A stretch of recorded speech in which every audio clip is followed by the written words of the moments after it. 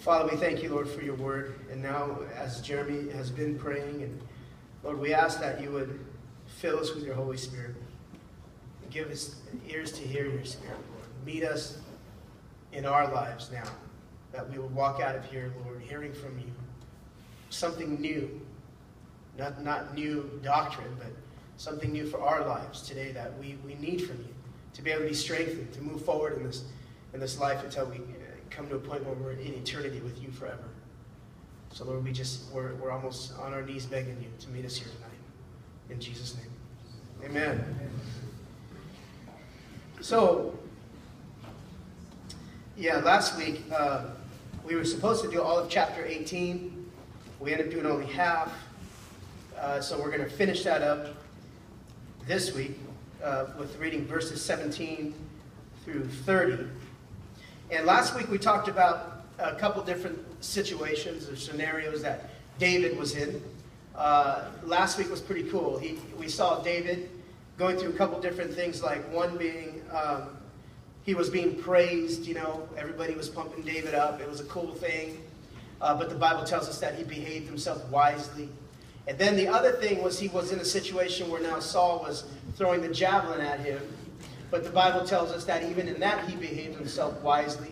So last week we really got to see what it means to, to be somebody who is consistent in your walk with God. Somebody who is not like a roller coaster ride Christian, you know, where one day you're all fired up, next day you're all gloom and doom. And we saw in David the character that I think we all want to possess eventually, and that is to just be on a consistent uh, walk with God, where we're not allowing situations, whether they be good or whether they be bad, to cause us to freak out, you know, or cause us to get into a place where we're, we're blowing our witness, so to speak, you know, or where we're sort of just uh, like, like we mentioned last week about the book of Revelation, you know, when Jesus walking among the lampstands, where he's telling them, hey, if you don't change right now, I'm going to snuff you out. And we don't want that to be uh, something that we're, we're being spoken to in our lives. We want to be able to say that, hey, I got my walk with God, man. Good times, like Paul says, in bad times, I know who I am before Christ. I'm forgiven. I'm a sinner, but yet He even set me free and forgave me of my sins. You know, even in my sin, He said, I, I, I died for you, and and by receiving me, you're forgiven. And so we want to be able to walk in that victory, you know, walk in that that co- consistent relationship with Him. And that's a challenge, man, for a lot of Christians today. The up and down of Christianity, you know, the, the coming and going type of Christianity, where your emotions are dictating your relationship, or your, your circumstance, rather, is dictating your relationship with the Lord. We got to become men. We got to become Christians who are saying, Lord, help me to not let my circumstances dictate my relationship with you. That's the kind of Christian I want to be. I think that's the kind of Christian we all want to be. Where we have a walk with the Lord. That's solid, man. Where you're standing in the victory of God. You're standing in the victory of Christ. That's what I think we all want. And we saw David last week kind of portraying that. And it was awesome. And so now, kind of, we're going to see a, a different situation that uh, is similar in some ways, but one that involves the enemy against David here. But we're going to see the enemy how, how not only the enemy's a game player, you know, and, and one big thing that really, okay, we can be having a good time in our lives with God and we can be having a bad times. But what about change? What about those transition periods in our lives where now things are changing? And, and if you're a Christian, a, a, a solid one, or one that has really confessed before the Lord, then you better believe that you're going to be experiencing change in your life. And I think, for the most part, change can drive a lot of people weird. Any kind of change, whatever that kind of change might be, whether it's a change in your marriage, a change in your job situation, a change at, at whatever level of change that you, you know what I'm talking about. Change can really do a number on people, man. It's weird because the enemy uses change even though we know at the same time the Bible teaches us that God uses change, because we've seen the Lord intervene and, and intermingle in so many lives of the, of the people we read about in Scripture, and He does it with change, doesn't He? You remember the children of Israel? I mean, He brought them to a serious change. He said, You guys have not been following after me. He tells the children of Israel, because of that, because you've been doing whatever you want to do in your life, I mean, you've been walking on a, a, a, weird relationship. They were some. You guys know the story in Jeremiah. Some of them were. He says you're you're you're worshiping with your mouth. You're able to say, "Oh, I know God and I love God," but he says to them, "Your hearts are far from me." And so, because when this happened in their lives, he caused about a change, and he caused them to go into a captivity, a bondage, one where they were going to go into a new land, a foreign land, unknown to them. And I don't know about you guys. I know what that's like. And I know a lot of you guys do too. What it is when God begins to move in your life and begin to bring you to a place that you don't know. It's unknown to you. And I hate it. it's hard, man, being in a place where you don't know. I've never been here. What is, what's going on here? I don't like this color. I don't like this house. I don't like this apartment. You know, some of you, I don't like this hotel. It gets even down there, you know what I mean? And, and, and you, you're experiencing change. And, and God uses it, but at the same time, the enemy comes in too in those times of change and wants to cause you to believe that you're getting messed up and it's all your fault and nothing's going to ever get better. And so we're going to see a little bit about how the enemy works in that, but I want to kind of read the scripture that we read a, a couple weeks ago. It's going to kind of set our stage. It's in chapter 17, verse 25. Chapter 17, verse 25, just a couple, there's a page over. It says, and the men of Israel said, Have ye seen this man that is come up? Surely to defy Israel he is come up. And it shall be that the man who killeth him, the king will enrich him with great riches, and will give him his daughter, and make his father's house free in Israel. Now, you guys remember we're talking about Goliath, and where they were all the guys were talking amongst each other, saying, Oh, hey, Saul said, whoever whacks this guy out, he gets all this stuff. His house gets free from taxes and he gets to marry the king's daughter. This is, this is Saul's sort of reward that he was offering to anybody who was going to kill Goliath. It was, the, it was the sort of, this is what you get if you do it. And look at what verse 26 says. And David heard that. We remember, we went over this. He spake to the men that stood by him, saying, What shall be done to the man that killeth the Philistine, and take away the reproach from Israel? For who is this uncircumcised Philistine that he should defy the armies of the living God? See, David heard that. He's like, that sounds good to me. Being married to the king's daughter, getting free from taxes, and getting all these great riches. I can do this. This, this Philistine, he ain't got nothing on me. And so, and then we know the story. David goes down there. He, he hits him with the stone. The Philistine, the giant dies. David cuts his head off with a sword. And now, that tells us by, by nature of Saul's reward, David should have immediately inherited that what Saul, the king, had spoke. Because whatever the king speaks is what the king says. Signet ring signified. You know, it's boom. That's what I said. If, if this is what happens, this is what you get. But David, when he killed them, all of a sudden, we're going to see something. How Saul's mindset is. We already know kind of Saul's mindset. His mindset's weird. He's unstable. He's, he's depressed one day. He's, he's loving David. Now all of a sudden he hates David. He's trying to kill him. And so the king now is sort of a, a, a, type of the enemy here. Saul is a type of the enemy, the spiritual enemy that we all are up against, and, and the biblical enemy per se, as, as whole in context. He's a type of the enemy. And so he's saying to David, this is what you should have got, but now we're about to see uh, what really happens here. And look at, let's start in verse 17.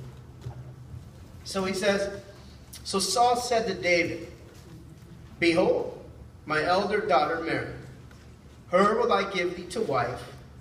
See, now he should have ended it at that. Here you go. You deserve this. This is rightfully yours. She, you, you, you won, you killed the giant. That was a, not only was there no man here in Israel that would do it, but you did it, David. And so you get the reward. You have this coming. She belongs to you. Interesting how, how an attachment we can sometimes get when we think we deserve something, or when we think something belongs to us. See, I think there's a bigger, there's going to be a bigger message that we're going to see within tonight's story. And because all of these things can really draw the flesh to come to some conclusion. And that is, David could have easily said, wait, stop right there, Saul, that belongs to me. All right, here comes my reward for killing the giant. But look at what Saul says. He says, well, I'm going to add something to that. He said, now be, only be thou valiant for me and fight the Lord's battles. See, we already know Saul's mindset. He wants to kill David. But now here he goes again, using something totally different, using a different kind of ploy here, because he wants David killed. So he says, Oh, fight the Lord's battles for me, David. You know, I'm going to give you my daughter Mara, but now, but be valiant for me. Fight the Lord's battles. It's so funny how the enemy wants to introduce to us when he's ready, getting ready to bring change in your life, or when he's get, when, when the enemy's preparing himself like that lion that the Bible says he is, waiting there to destroy you. He starts to, he wants to prep you for the final, the final attack. And that's what he's doing for, for David here. And he's saying, fight the Lord's battles. Fight the Lord's battles, you know. Get involved in ministry. Be, be a part of what God's doing. And so then look at Saul says, to finish it off, for Saul said, and here's where, where we get the revelation here where, where he's revealed. Saul said, Let not my hand be upon him, but let the hand of the Philistines be upon him. So Saul now, instead of just giving him the daughter, as he should have, that was rightfully coming to David, he has another plan here, he, another plan, another plot. He's saying, you know what, I want this kid dead. I want David killed. But maybe I can use this reward, my daughter. Maybe I can use this to get him killed. Maybe I can, I can cover my actual plan. See, again, this goes back to so many, so many accounts that we read in the Old Testament. Satan is so busy about trying to bring something in our lives that from the outside does not look like what it really is behind in his motive and his intention. That's where we get caught off guard. That's where the Bible says to us so much about being in the Spirit, being in prayer, being on your guard, being standing strong. Because the enemy is going to continually bring things to us in our lives that are hard to identify as his plot. How many times has so many of us in this room have been caught in that web? Oh, I know she's of God, man. Look at how hot, look at how great she looks. This is going to be perfect. She even has a, a not of this world t shirt. Man, this is going to be good. I'm going to marry her next week. When'd you guys meet? Yesterday. It's awesome. It's of God, though. Trust me. And all of a sudden, we're getting caught up in that web. Things where, where the enemy's bringing it to us, and from the outside, it looks like, okay, this is what I had coming. This is a part of fighting the battles for God. This is part of my reward. This is a part of my inheritance, if you will, in God, in Christ. And the enemy wants to pose these things to us to, for us to accept it. But behind it, behind these things, if you're not sensitive to the Spirit of God, if you're not filled with the Lord, if you're not in prayer constantly, you know, and this is where, where we talk about this the, the real issues of prayer. How, how much of us spend enough time in prayer? How much of us are, are really saying, you know, I need to be before the Lord about my day, about my circumstances, about my life, more than I am about doing it. But how hard is that, you know? It's like I was talking with the guys earlier, and it's like, if I see somebody get hit by a, a, a truck out in the street out here, you know, and the dude, the body just goes flying and everything, I'm probably not going to fall on my knees and pray for that person. I'm more than likely to go over there, I'm going to do CPR, I'm going to try to help this person. It's in our natural ability to want to do things like with our hands. We got to always be involved. And I think that's why the enemy poses this, this sort of Christianity when it comes to prayer. Oh, be busy about serving God versus being busy about talking to Him. See, it's one thing to be before the Lord, discussing your life with Him, everything that's going on in your life, before the one who can change it. God is the only person who can actually reach down from heaven and intervene in your life. But how much are we actually spending time before Him introducing to God and discussing to Him these things in our lives? But the enemy here, he's saying now, Saul's showing us now the reader that he has a different intention. His intention is to keep his hands clean. He's like, I want him killed, but hey, maybe I don't have to do it. Maybe I can get through him marrying my daughter and becoming my son-in-law, the Philistines will know to wipe this guy out first because he can possibly have reigns later on in the future for Israel kill him. and maybe Saul doesn't have to do anything. And he uses these, these, these situations. Verse 18. And David, though, look at his reaction. David said unto Saul, Who am I? And what is my life, or my father's family in Israel, that I should be son in law to the king? You know, a lot of times we read scriptures like that, and we go, well, David's just plain out dumb. He just doesn't even know what's going on. Look at him, he's just, he's just clueless to the situation. And a lot of times when, when we see uh, brothers who are walking alongside us with our relationships with the Lord, and you got a brother who's just completely in love with Jesus. Oh man, don't worry, man. We just need to pray about these things. Oh, we just need to read the word together. Let's just actually let's just hold hands together in a circle and pray.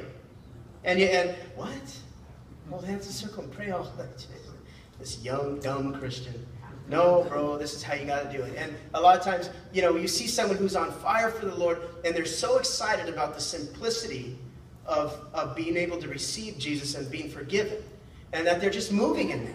See, we have to we have to make sure that we aren't so caught up in our in, intellectualism with God that we forget the simple truths of what the Bible teaches us.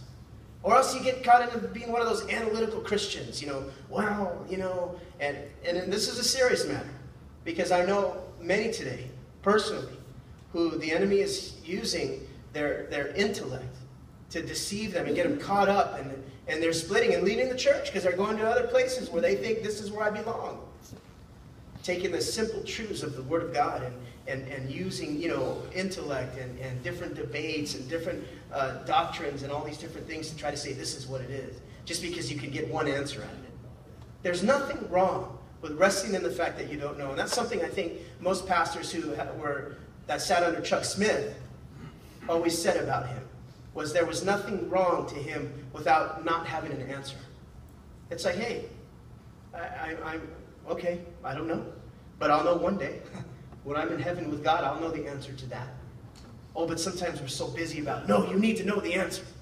And David kind of responds in that way. Look, hey, I, am not gonna, he doesn't see it right away. Because, you know, his mindset is not, not focused that way. He's, he's, not, he's not thinking all continually always about, uh, oh, man, you know, um, Saul's trying to kill me and all these things. David has a pure mind about him. He has a pure sense of just trusting in God. He has a, his trust is being in the hands of the one who guided that stone to kill the giant. David's trust is in the God that gave him the strength to kill lions and bears and, and, and animals when they took the flock. That's who his trust is in. His trust is not in his own mindset or his own strength or his own intellect. Where's our trust Where, where is our trust? And if the enemy confronts you with a situation like this and your trust is in your own intellect, oh, I'm a smart Christian, I'll analyze this one. I got it covered. Then guess what? You'll be deceived. Because he uses that. If he, if he can cause you to analyze it yourself and you try to figure it out, he's got you. We need to trust the Lord. Put our trust in him. And he goes on to say, and let's move on here. But it came to pass at the time when Merab, Saul's daughter, should have been given to David, that she was given unto Adriel the Meholathite to wife. And and what, what is this girl's name? Michelle. Make, how do you say it? Somebody? Michael? All right, you said it. And, and Michael, Saul's daughter, loved David. And they told Saul, and the thing pleased him. And Saul said, I will give him her, that she may be a snare to him, and that the hand of the Philistines may, may be against him. See, so now, David, let's, let's kind of step out of here for a second. David's getting the, he's probably sitting there going, wait a minute, uh, first of all, you, you're the king, and you told me that I was supposed to marry your oldest daughter. And first of all, I should have married her a long time ago because I killed that giant back then. And now you're telling me you go and let her get married to somebody else, and now I get this other daughter named Michael, okay, and I got to marry her now. What's going on here? Why, what, what's going on with you, Saul? Why are you changing up on me here? I mean, he could have at some point said, no, this is rightfully mine. What's happening? See, the enemy likes to confuse situations so much, man. He, he likes to get in there, and, and not only is his intent for you to die, because the Bible tells us he's out to destroy your life and your walk with God, but he likes to mix things up on us, make change, bring, a, bring about something different, to, that we could get in a place where we're confused, or we could get into an area where we're going, what's happening here? Uh, you know, what, the Bible tells me this, you know, I'm supposed to be an inheritance of the, you know, a child of the inheritance, you know, whatever that means.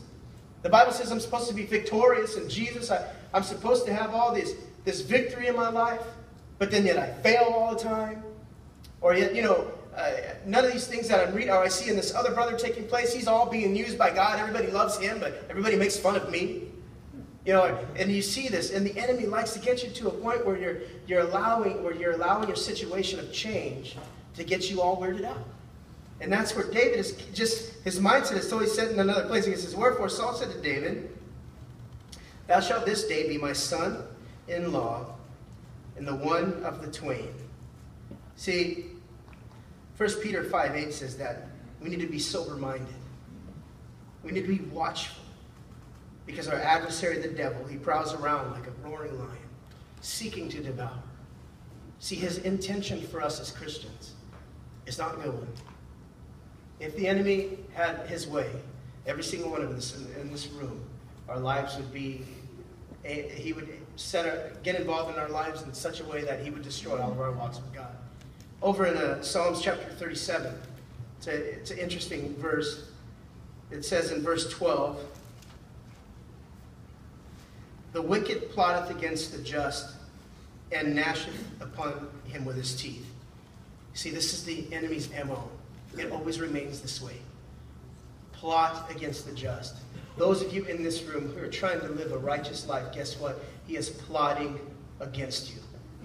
It's no wonder why you're confused. Don't, don't find that to be a mystery. If maybe you're sitting there wondering what God's doing in your life, maybe you're one sitting here going, you know, I don't know exactly what's going to come of this situation of mine. I don't know what's going to happen with my future. We don't know our future. See, but it's but it's recognized in the scripture that the wicked they plot against the just. See, the enemy has this this incentive. He has it out for you. But look at what the psalm says in the rest of that in verse 13. The Lord shall laugh at him, for he seeth that his day is coming. You see, even though the enemy is constantly about trying to bring plots against you as a Christian man, and many of us know the list of what this plot looks like. It's everything from temptation, it's lust, it's, it's women, it's money. Some of us, it's our pride, anger issues. You've been through 17 anger classes, and you still got it. You know, some of us, it's, it's so many different things, but the enemy is nonstop about plotting. He's nonstop about getting in your mind about this stuff. He doesn't quit, you see. He doesn't quit. This is the message. The enemy doesn't quit about messing with your mind and messing with your walk with God. This is his purpose. It's what he's for. It's why he's among this earth right now to destroy and to deceive Christian men from being victorious in the Lord. And he does it by plotting. You guys know what a plot is it's being mischievous. It's sitting in the background going, hmm, what can I do here in this person's life just to destroy it? And I'll wait and I'll study this person and I'll figure out what his weakness is. I'll figure some of us don't struggle with women. Some of us don't struggle with finances. We're all different. But the enemy will sit back and he'll pay attention to you. And he'll learn your ways. He'll see what actually gets you all fired up. Oh, I know what gets that guy fired up. You know, I know, I know how to get this person to just, it's like I was talking to somebody today. Um, it's like our wives, okay?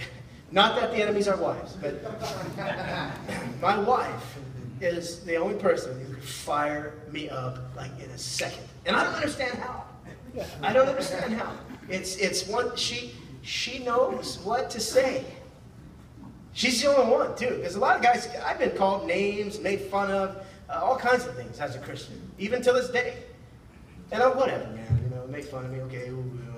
I'm short. We get what you always say. I'm short, whatever. Okay, like I never heard that one. You know, I mean?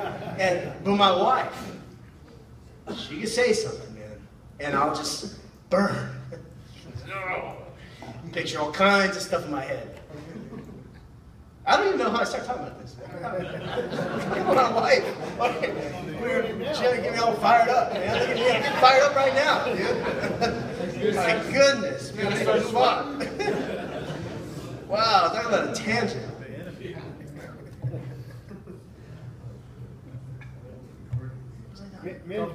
Temptation. The enemy knows how to push our buttons. He knows how to push our buttons. And he waits and he learns you.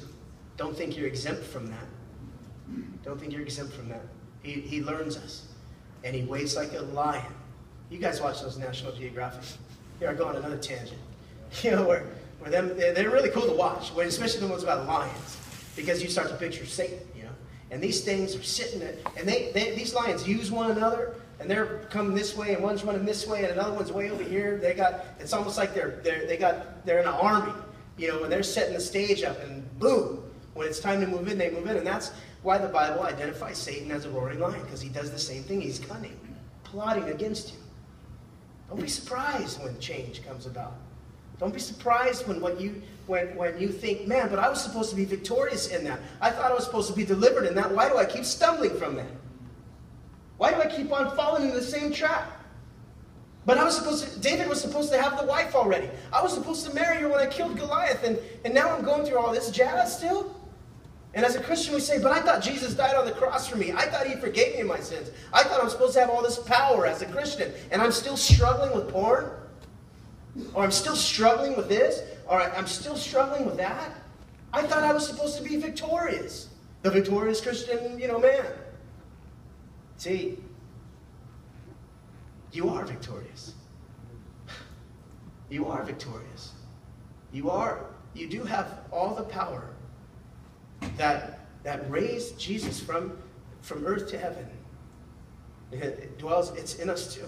We have that same power. But the enemy is tricky. Tricky enough to convince some men in this room that you don't have the power to overcome those things. And that's the plot. That's the lion. And he waits. And he waits just how he can convince one of us in this room that you aren't victorious and you can't overcome that. That's just you. You're just a messed up one out of the seeds. You're just the grape that's, you know, purple and all the other ones are red. You're just the one that's messed up. You're the bad raisin the black sheep. You're the one that can't do it. I remember feeling that way. I struggled with something for a time as a Christian. And I remember convincing myself, maybe I'm just different.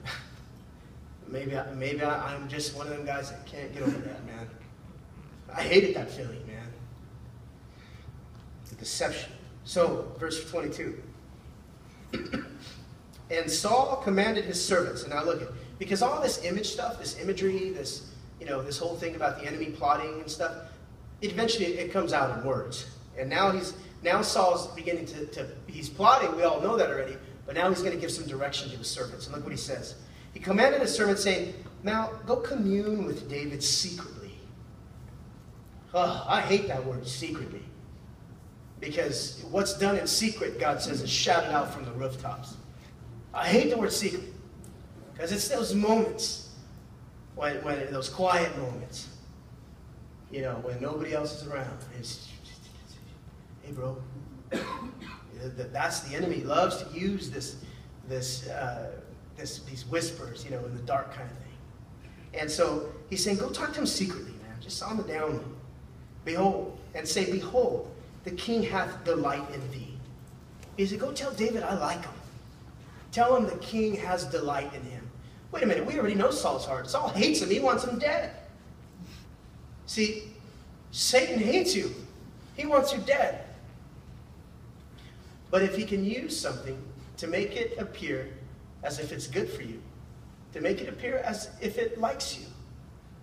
Pastor Jeff always talks about, you know, he says all the time, it's kind of funny, the, the, the, the guy, the Christian guy who, who's, you know, you got this bombshell of a girl type who wants you, and you look in the mirror, you're like this old guy, you're losing your hair like me, and all these things. And you know, Satan wants to appear that that it likes you. Mm. It likes you, you know. She likes you, man.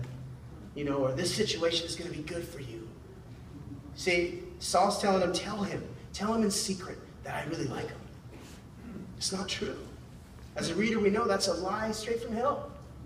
He's not telling the truth.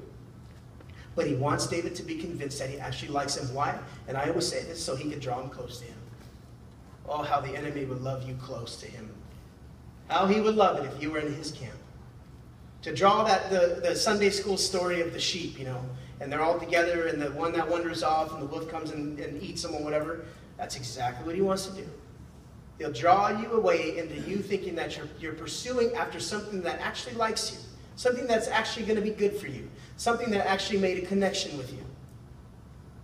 And, and that's where you get those stories of those people who, a lot of guys who I know today who are hooked on drugs, all of a sudden they meet an old friend who's doing good too, and they're all grown up, and, and but yet that person's not a Christian, and you guys start hanging out, all of a sudden we're, all, man, good times, yearbook times, you know, all this stuff, and all of a sudden, let's do a line.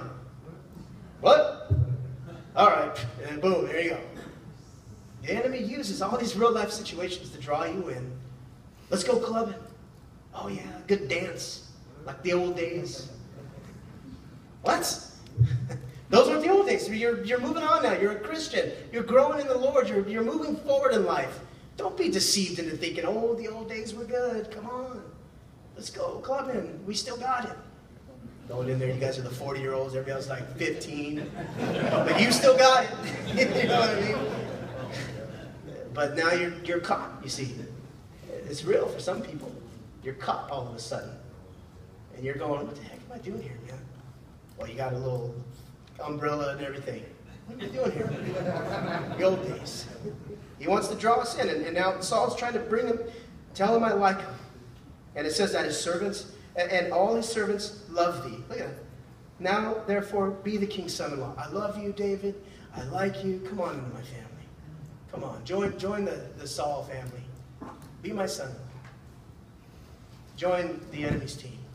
Get off that track. Get off that victory. Get off that God team. Come back on our team. And he's going to use whatever he can. And Saul, in this point, is trying to use uh, this weird situation to do it. So look at verse 23. And Saul's servants spake those words in the ears of David. And David said, Seemeth it to you a light thing to be a king's son in law?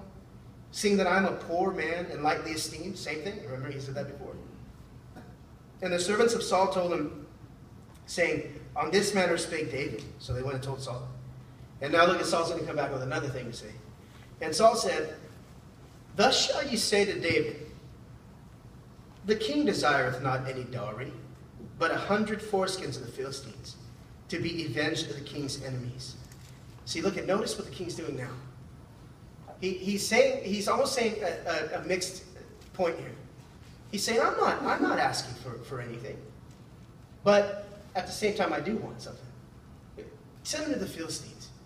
Now, this is now the, the enemy's, now Saul's purpose for all of this is getting closer, isn't it? Because his whole purpose of all this was to do what? Get David to go to the Philistines, that way they could kill him.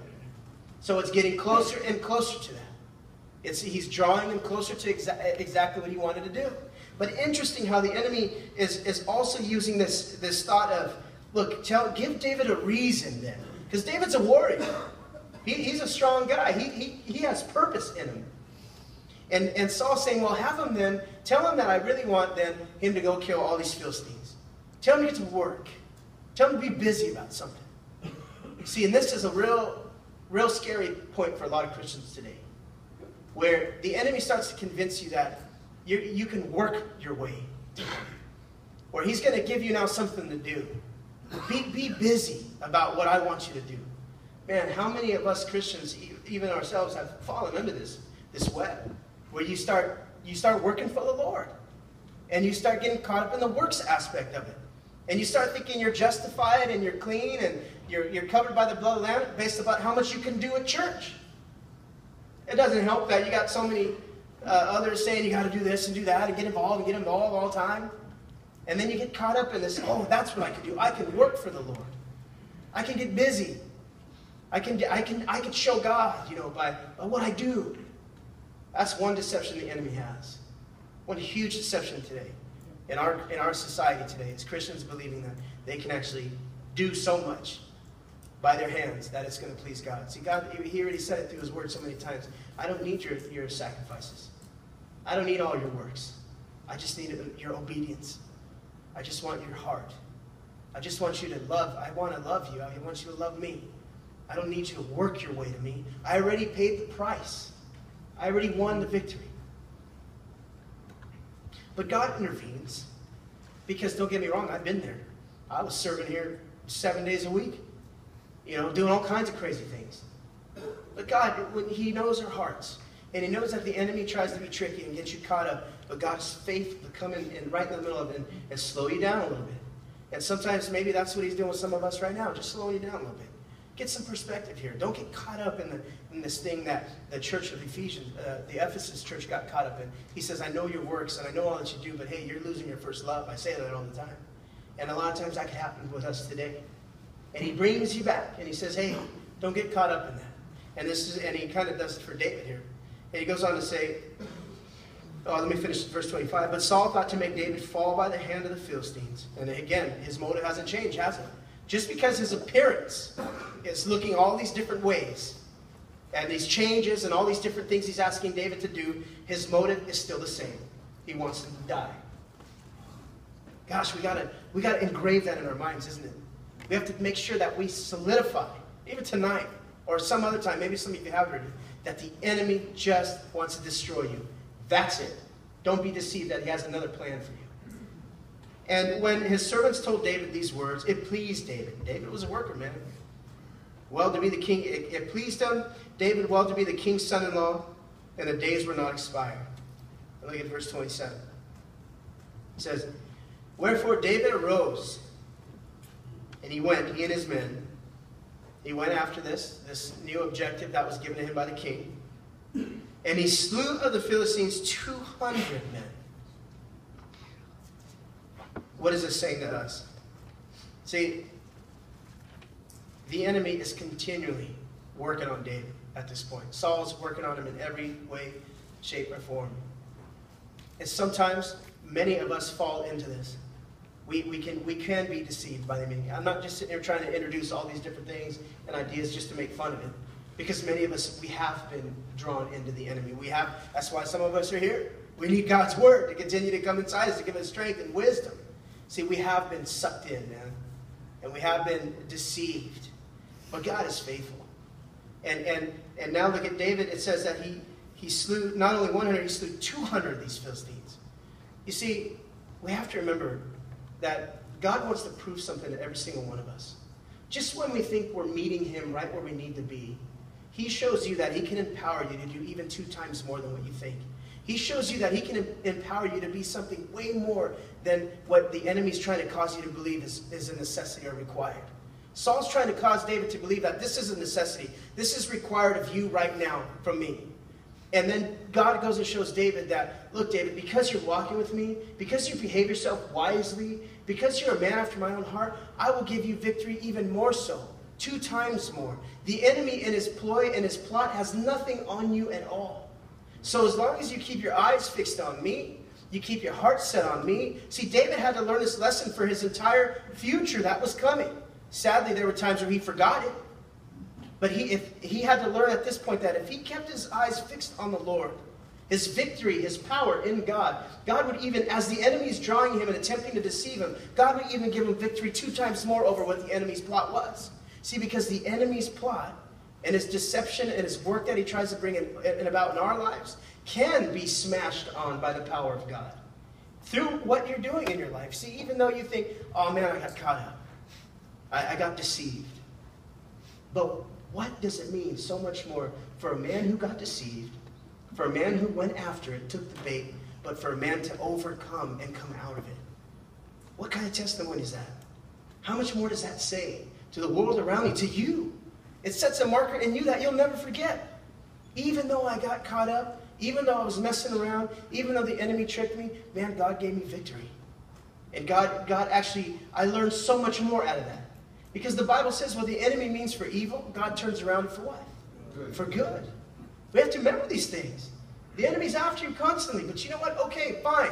You recognize it, you know it, you're aware of it, but that doesn't mean that Jesus is all of a sudden a little bit hiding behind you. Watch it, the enemy's over there. No, Jesus is still standing strong, fully glorified, saying, I'm, I have given you victory already. The price has been paid. See, that's what we have to remember. Don't be on that, that. Don't be on that deceptive road where you're just constantly kind of going, oh, oh man, what's happening? Oh, I'm back and forth. I'm going to church tonight. Oh, I'll go next month too. No, stand in the victory. Stand, let Jesus put him in front and say, this is my victory. I, I can, I have messed up, but because of him, I will overcome. Because I'm more than a conqueror through Christ Jesus. I'm not more than a conqueror through my own mind. I'm not more than a conqueror through my own ways and my own, in my own ways of thinking. I'm more than a conqueror through Christ Jesus.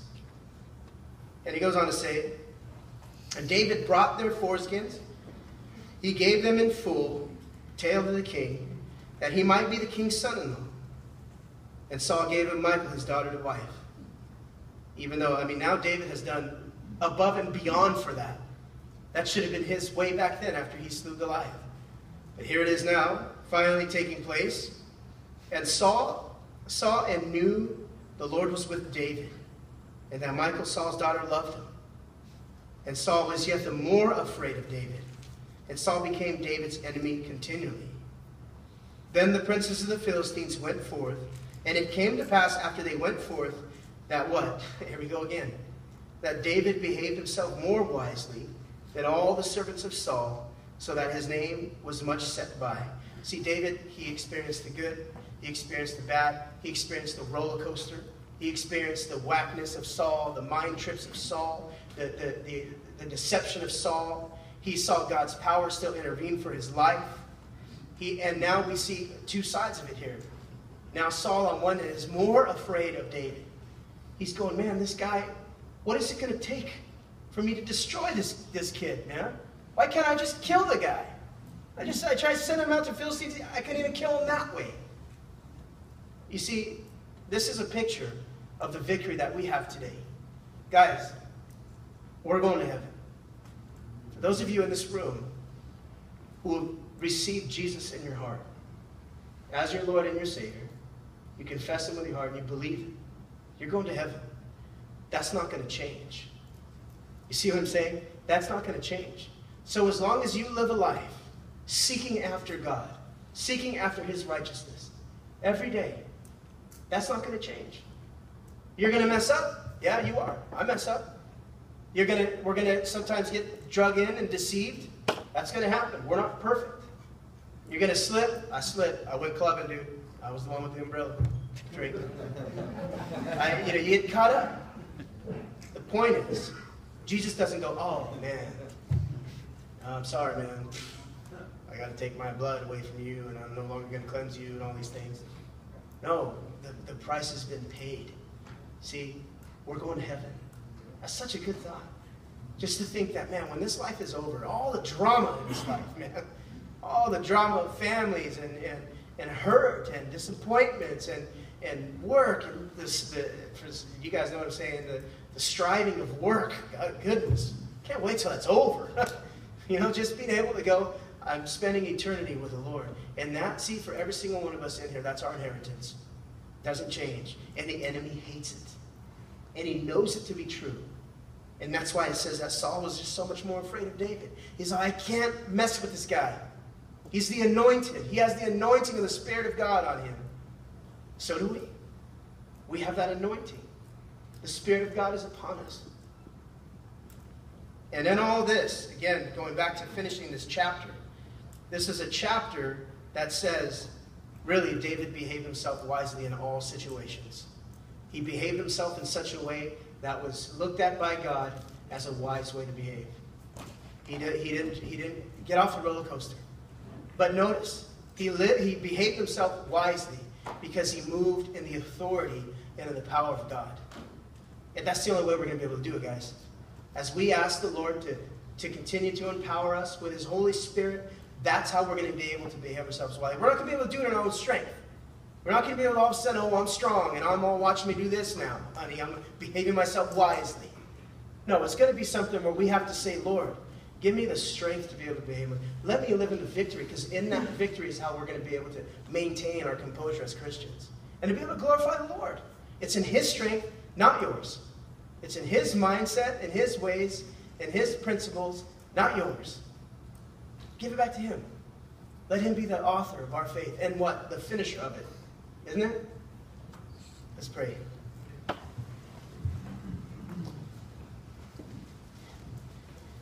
Father, we thank you, Lord, for your word. Thank you for your victory again, Lord. It seems like the more we talk about David and the more we um, talk about just seeing his interaction with Saul, the more we end with a conclusion of saying, Your victory, not ours. And Lord, it seems like a message that no matter what the story is, no matter what the account is, it always goes back to you. it always goes back to you being the one that paid the price for us. And you're not asking us for anything, to, for us to be working for you, for us to be the ones that are going to come to this point where we have the power.